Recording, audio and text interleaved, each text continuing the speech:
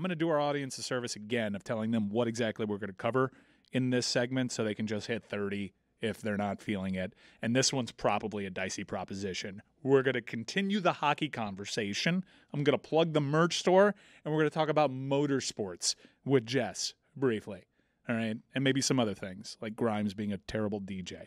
But I want to give the merch place a, a, a uh, a, a, shout out because they actually turned around these World War Three shirts quickly. So hopefully you can have your World War Three shirts.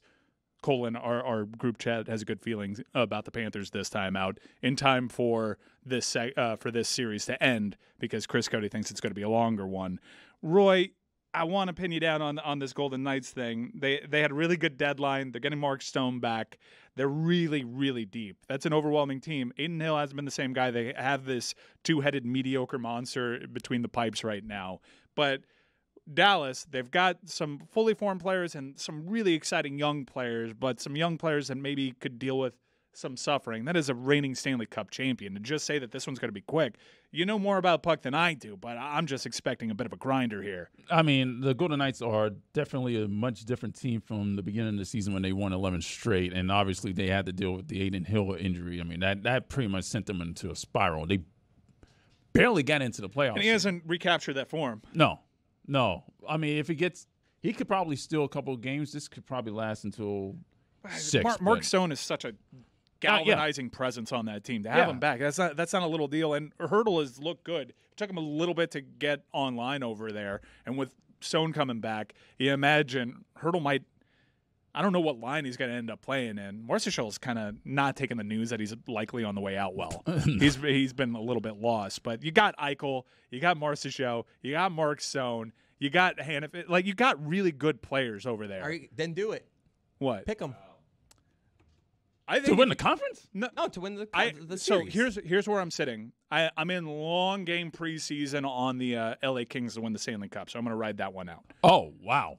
Yeah, I'm in a long game, uh, long game there. I don't think that they're going to do it now as presently constituted. It's a really weird team. They spread the wealth on that team, but at their best, they drag games into the mud, and they're actually pretty deep.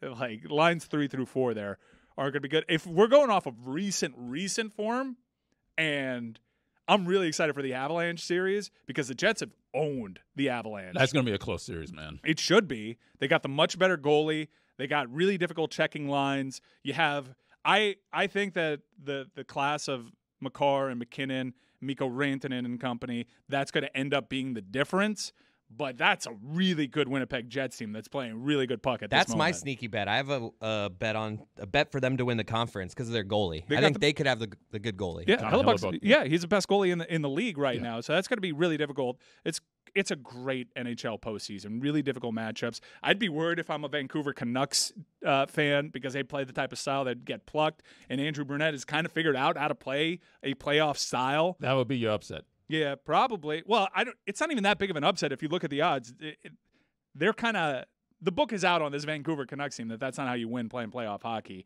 You would think that you'd be able to turn to ESPN for guidance on what to watch. If I'm just a casual sports fan, I'm maybe pulling up ESPN.com slash NHL and I'm reading some of their articles. And they put together a list of the top 50 players in the NHL playoffs. And they lost me with number one. Number one is Auston Matthews. Wonderful player, American player. Great story. 69 goals this season. Fun to watch. No McDavid.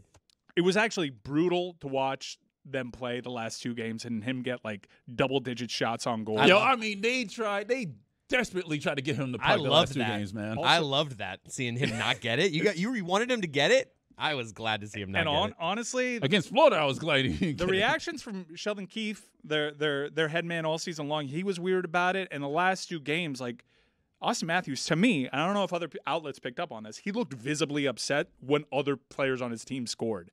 when they had a delayed penalty call and the extra attacker came on and he didn't get that goal, and he had to realize that I'm not going to get two minutes to get this goal.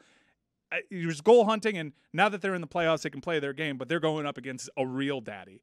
It's been how many days since they beat Boston? It's been like, it's been a while. Yeah. They, they haven't won a series against Boston in ages. Yeah, especially that comeback a couple years ago. Yeah, oh, against James Reiner. Reimer. So, yeah, that was bad. I think, and this is who I believe should win the Hart Trophy. Nathan MacKinnon. to me, Yeah. the best player in the league this year. I had the hot take last week that for me, he surpassed McDavid. You can go Makar, McDavid, number two. Then we can start talking about Auston Matthews a little bit. But they really lost me on this list when they pulled up number 38, and it was Aaron Ekblad. Ugh. Well, I mean, he's coming off of injury, though. I mean, that, that's probably why- why they had him so low. What mm, I'm So angry low. about is, well, I'm So so low. high, so high. Yeah, that's I'm super high for Aaron Ekblad. Like three years ago, cool. Yeah, I'll meet you He's there. barely in the top 38 on the Panthers. He's. Can you even count on Aaron Ekblad? Aaron Ekblad, at his best right now, is maybe the third best defenseman for the Florida Florida Panthers. Which, which, which is why I'm so angry. They didn't. They left off Gustav Forsling, who's They didn't even give Forsling honorable mention. I'm gonna pull a perk. They're not He's watching that- the game. wow. That guy not watching the game. No, there's not. And there's a lot of hockey stuff. I'm not going to allege AI, but I read a Bleacher Report preview back when everyone assumed that the Leafs were playing the Panthers that read like AI just because they picked the wrong goalie who as our our top top line goalie. They said Stolarz was our number one goalie. Did they just sort by goals against average? well, he, he's he's been the best backup goalie in the league. We can Yeah. we, we can say that. And if Bob shows what he's shown in, in previous years, I do trust Bob a little bit more. But if he's at all shaky, and we've had some good backup goalies down here in Florida, dating back to Juan and Reimer over Luongo, and Alex Lyon helping carry the, the Panthers into the uh, the postseason last year to the point where he might have actually you didn't know who goalie number one was. If Bob runs into it and he's getting out goalied by Vasilevskiy, you got a pretty a pretty good backup hand in Stolarz, he's been my favorite out of that. Right lot. now, I'm saying let's give Bob a leash because I think he's earned it. But Yes. if he has a bad I mean, game, I think my tone might change. Well, Bob, If Bob's, he gives us six, then yeah, sure. Bob's going to be a can still Vezina. he's going to be a Vezina finalist, right? He's not going to win it, but No, he's not going to win it. No, Seems like we can develop gonna win it. goalies, huh? Like, is this like like a skill we have? except is for this Spencer random? Knight, who's got admittedly other stuff going on. Yeah, it'll be back is a- next season. This is a great sports weekend. I'm so excited. Fantastic. You have the NBA playoffs, NHL playoffs. Way to stifle that burp. Thank you. Excuse it me. might have been a throat thing. It was an A throat inner, fart? inner fart. I heard that YouTube TV is letting you do NHL playoff, NBA playoff multi views this oh, weekend. Really? That They, they started it last week. clutch. Yeah. Hugely We're, clutch. we're one step closer to choose your own, which is, I don't think they've done that yet. But we also have a big motorsports weekend, Smetty. I know you're the Formula One voice. I, as you know, noted NASCAR gearhead, could not be more excited for Talladega. And with Pitbull in it, running Trackhouse, which has been a very successful racing team, well, everything this guy touches turns to gold. So you're not you're not doing the bit. We we are, well, Formula One calling it Talladega. I want to call it Talladega oh! because if Pitbull Oh. wins it, Yeah, we like make it we make it Talladega. I'll get into Talladega in a moment, but uh, Max Verstappen, how will he overcome this? Didn't qualify in the top three. Well, the, so the Chinese Grand Prix uh, sprint qualifying was this morning, and I I didn't get to watch it because it was on at 4 a.m. Yeah. So far, like this year, most of the races have been in the middle of the night. So actually, when Formula One comes to Miami, which is the next race after this Next weekend, race. it will be in our time zone. So I I'm, I feel like that will be the official beginning of the American Formula. I'm One low key excited for this American Chinese one because I can actually watch this one because I'll be home at that time. I'll be like cracked out on something. Oh God. So Crack they haven't raced in China in in since the new regulation set. They haven't raced there in years because of COVID and everything, and all the regulate shutdowns and everything. So there's not a lot of data on like what the the track is, and there's also weather this weekend. Yeah. So I don't know. I'm not too worried about Max Verstappen, but yeah, there was there was rain this morning. I think he'll Lando- pull through. baby Although Lando, he pole position. he recently did not win a race. I saw that. yeah, he had a malfunction and DNF'd. He DNF'd, which is coming back soon. Yes, I Great. actually have a call about it today. That's fantastic. Like. I said, official hard launch of Formula One season. is Miami. when DNF comes back and Miami. And So- when the when the time zones normalize, DNF us. is a bad thing. did Yeah, not finish. right. But then why did you guys name the podcast DNF? Well, as you can see, Tony, sometimes It should be DNS. We don't finish- Did not start. yeah, right. To- no fault of me and Spencer. didn't I No, no. I know. I know you guys are locked in. Uh, but we're trying to we're trying to spruce up the presentation a little bit, it. and all that stuff uh, takes time. We But I'm did excited to see. Push, push, Chris. I'm excited to see what you guys do for Formula One week down here in Miami. But Talladega, Now, for casual sports fans, they may know Talladega's reputation is the most dangerous track because it's a super speedway. It's one of two restrictor plate races. It's one giant oval. Yeah, a lot of left turns, but you have essentially what becomes like 200 mile per hour traffic jams, and it is famous for the big one. It, it's a very dangerous track. It's a very dangerous race. Betting on this one is you, you essentially take three drivers and you hope for the best. It is super dangerous, and people essentially tune in to see a lot of cars crash. It's going to be that dangerous. And at the center of it all is Pitbull, Mondo, guiding Trackhouse Racing, a huge successful effort. And I'm wondering if Pitbull has been enough to draw, because I know that Billy has actually gone to a Daytona 500 Yeah. before. Are you gonna be? Are you a Trackhouse Racing guy? Uh, sure. When is the race? It's Sunday. Sunday at 3:30. But Wasn't there he supposed to perform at the Daytona 500 and then rain kept Weather. pushing it back? the, the the weather sucks. How It's- weird is it that in weather Dubai they force it to rain? Not that that's related Now to what we're talking right about. questions, Billy. Seedlings? Have you guys read about these things? No, Yeah, they create artificial rain because of the, the climate. really. Yeah, they can uh, essentially impregnate Have you not clouds seen the- and the force flooding them to over there, rain. Mike? Well, that that that's a whole thing. I don't know if that's what caused that. Yeah, but was that the? Uh, but yeah, but what? That wasn't artificial rain that caused the flooding, was it? Yeah. It was. Yeah, they had a huge storm, and I that, don't think that's what the issue was. Look at that. Is confirmed though. no, yeah, that part I don't know that's confirmed, but it is confirmed that they do create artificial rain. So if they create of the artificial rain and then it rains so much that it's uncontrollable, can we not kind of put the pieces together that there was an uncontrollable rain that they created that flooded the entire city? So you think it was an could be climate intentional, change. an intentional amount of rain that they created? But isn't us creating rain climate change? Technically, now you're yes. the right question. You We'll stop mentioned the rain. You Change mentioned the a- climate, More right? of an extreme weather. You mentioned a dirty, uh, dangerous track, and that would get me into racing. If like there was a track that had like a slippery section, Chris, there's several. Oh, you mean like a Mario Kart? like track. Yeah, ooh, I intentionally like that. dangerous, Like There's Rainbow banana Ro- peels Rainbow banana Road? peels, Total Cra- Yeah, shells. blue shell. big craters in the middle of the Yeah. roadway. Crazy amount of rain. Well, global Talladega- warming, Taylor Swift new album. Hmm.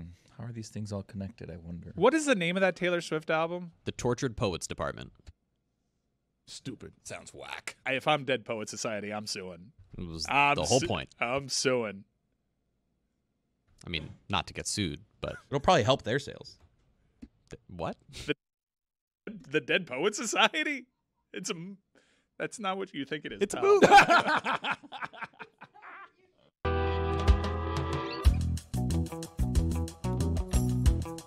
I'm sure by now you have seen the image of Mark Zuckerberg that has made the rounds on social media. A glow up for Zuck. Looks really good. And it turned out to be a fake. and it only faked out guys. Because Jess knew this was a fake from the moment she saw it. And I think I know what's going on here. But Jess, you weren't at all fooled? It looks so fake. Where would this facial hair have come from? This man has had no facial hair and does not look like he has the ability to grow facial hair. He doesn't need. Look, we just made I fake understand. clouds. He doesn't need to I grow it. understand He's- you're he- doing a hair transplant. He beard can make a be- transplant he can thing. make a beard. It looks very edited. I saw someone call him. He went from Mr. Steal Your Data to Mr. Steal Your Girl. I think what happened here with so many guys getting fooled because this was an altered image is guys, and I say this as someone that's just recovering from a bad shave. Guys put a lot of value on a beard. Oh yeah. And we all saw that and we're like, look, look at the difference a beard makes. That look how much more handsome he is with a beard. But as you can see right now on the screen, the original image with the doctored, they did much more than the beard. But our feeble little man brains just saw a beard and automatically assumed that's why he looks so much more I handsome. have quite literally zero, what almost feels like a receding jawline when I don't have a beard. I am a butt ugly lunatic Yeah. when I don't have a beard. And I consider myself to be a, a relatively handsome man. I'm not saying I, I don't You're a uh, good-looking feel guy. good about myself. You're a good looking guy. but I need to beard. have the beard. 'Cause If of I don't beard. have the beard, I, you would not want to look It's at me. It's a disaster Shave? without Come in. Monday. I won't do Yeah. it. No, I won't. I haven't been I haven't been fully clean shaven, but for maybe one time since high school.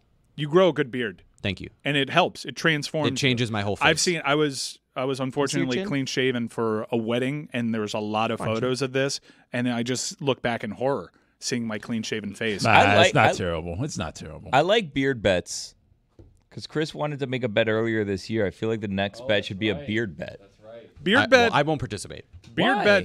that should have been what we bet the Nick Batum foul on. Oh. Damn it! Too late. Is there anything that you're willing to bet your beard on? God, it would take so much for me to be willing to I- shave. Like Chris- to come on to this show in like without a beard. Because I- Chris it Cote makes me shaved his so beard for a Dollar uncomfortable. Shave Club activation, and he oh, took Oh, it like those a are my champ. favorite memes of Chris, though. Like, Do we have that somewhere? Hey, Can Mike. we find that in a minute? Hey, Chris, come here. Let's make an X. It's the first day of XFL. All right, Mike, sure. It'd haunt me for the rest Like of my life. sure, life.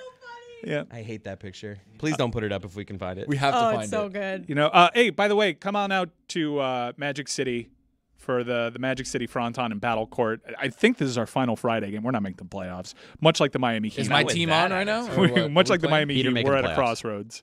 This Tony, this turncoat Tony over here is a Wall Warriors I'm guy. a now. Warriors guy. Yeah. He Is there does time one for change? does that one interview with Julian over here. my He guy, just got got wooed. He did two interviews with Spoke uh, to me. Cyclone. I was like, dude, my guy. I do like Julian. Uh, Julian's a, a nice guy. They got a nice team. Uh, Manny, different too. ownership, Manny, so we don't OG. hate Ah, them as legend. much. Manny. Yeah, Maybe I'll be a Wall Warriors guy. we might be Wall Warriors guys too. Yeah, no, the, we're huge inflection point for the the side this year. there is clean shaven Chris Cote. If you didn't have the beanie, if you Oh, didn't have the is- beanie, it would have been is hell. almost as good as the picture you posted on your Instagram last week of your sunburn, oh, Chris. Oh, yeah. That was a Yeah. classic. Very peachy. Yeah, but also surprising. You have some definition there. I don't Now, show the been- belly button though. No. If you notice in that picture. Yeah. Well, that's another bet that we got. Look, we've talked about this for a little bit, and I think you have the confidence now. I'm not finally- showing you my belly button. If what kind of hockey bet can we make? Beard bet. Beard bet. belly button Beard bet. Belly button bet. It's not Alright. happening. All right, Puck. we're, we're You gonna suck. go in the lab. You said clouds earlier. Clouds